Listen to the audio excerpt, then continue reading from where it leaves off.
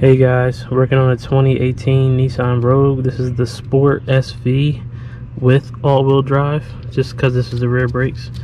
Um, I have the car lifted up by the differential. I have the jack stand on the pinch weld right there. Um, these bolts are 21 millimeters. Break them on the ground. Lift and support the vehicle, then remove the wheels. Now, we can get started here, okay? First thing to do is we're gonna remove this and this. This is to hold the caliper on. These are 14 mils. All right, it's kind of a tight fit. So one of my favorite tools in this situation is a wrench extender. Um, put it on here like this. Remember, lefty loosey, righty tighty. The bolt is not facing you, so here, get it on and crack it. Same thing for both sides. Now, it, it runs into the uh, the brake hose which is one of the dumbest designs I have ever seen.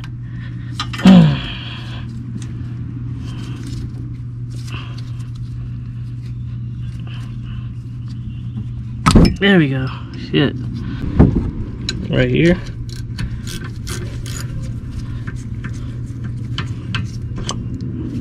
This rubber tip is on the bottom so Oh. I'm gonna keep that there for right now. Put this somewhere. What I like to do here is I like to um, crack open this bleeder, this this uh, bleeder valve. Just is good idea to do it so rust doesn't build up. Another thing I'm gonna do here is I'm gonna get rid of the old fluid so the car can introduce new fluid you know better quality better quality brake fluid better brake feel better performance. So got a one man bleeder right here with a straw I mean with the hose for the fluid. It is an 8 mil to break it. Like I said this part you don't have to do but another thing too is a lot of these modern cars don't like they don't like brake fluid going back into the ABS module. So that's another thing to think about but with that I'm gonna go here stick it right in here. And then what I'm gonna do here is I'm gonna just squeeze this back. And as I'm squeezing this back all that fluid is going into the lines and filling up my hose. And then with that being said now I'm going to just snug this back down so that no air gets introduced and just like that. This has been pushed back. Nice. All right so I'm gonna put this to the side for right now. Right there. Next up these are 17 mils. With my wrench extender. Like this. Pop it up. Same here pop it up. Don't forget these little boots.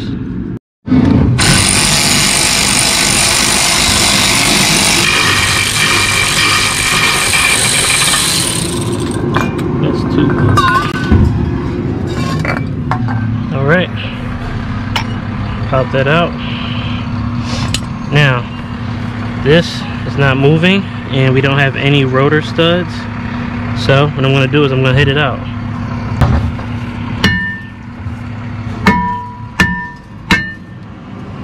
Just like that. Good. Get a wire brush right here.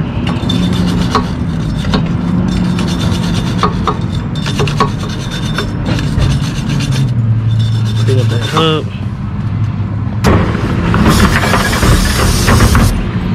Small little coating of NICs right here so that the new rotor and the wheel don't freeze to the hub anymore. With your new rotor, take it out, spray it. Clean paper towel, wipe it down. Mount it up.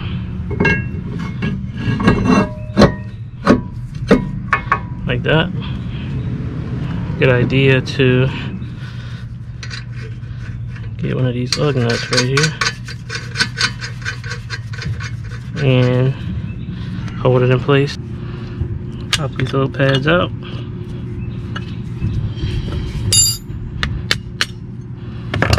Pop that out.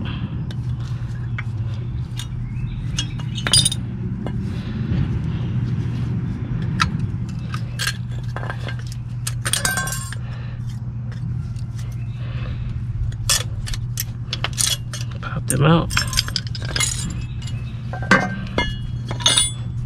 Wire brush.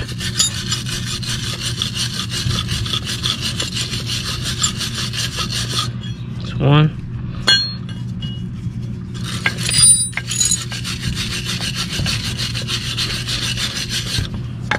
Two.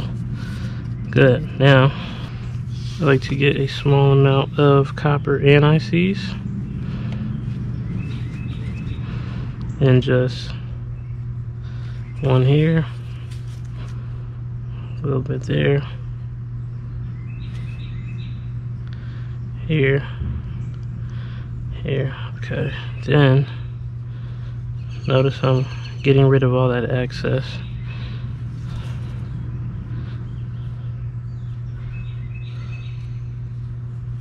Just like that.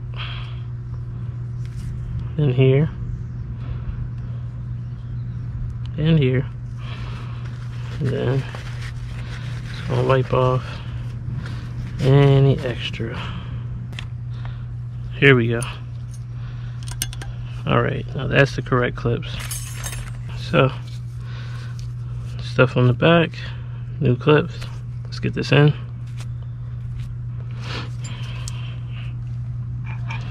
Bolts right here.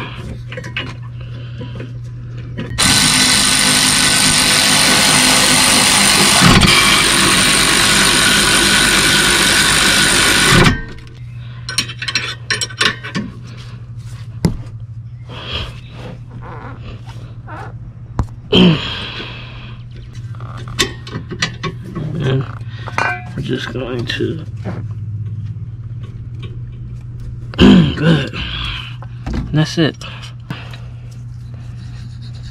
Get a small amount of copper anti-seize right here too.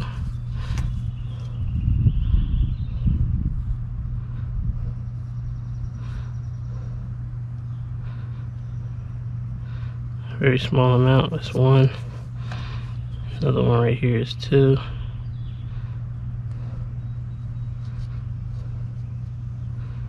okay. Just like that. Remember less is more. And this side goes in right here. That's one. And the squealer goes on the inside nice. Cool.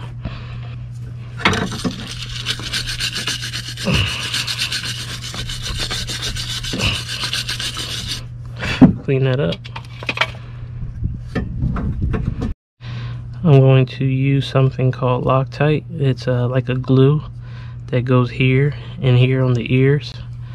You know basically like bond like hold on to the anti-squeal shim to help reduce any vibrations. Just going to right here and right here.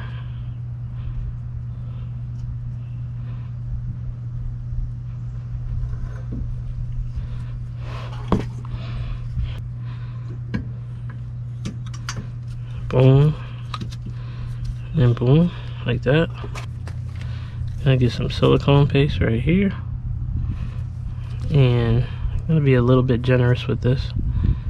But just kind of give that up with silicone.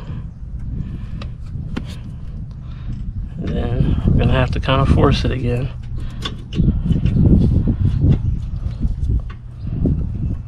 Okay now we're just going to kind of force that like that like so. Yeah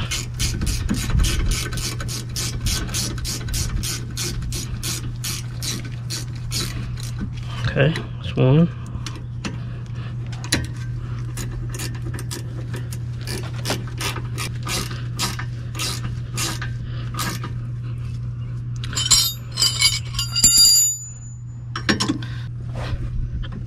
That's it. And then here as well.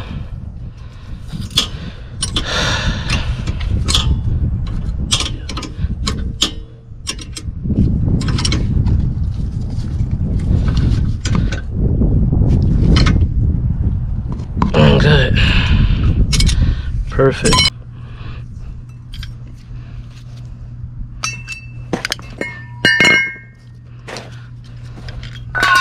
Don't forget your uh, cutout right here. Goes right here. And this is for your brake shoe adjuster. You're all done. Thanks for watching you guys. Till next time, out.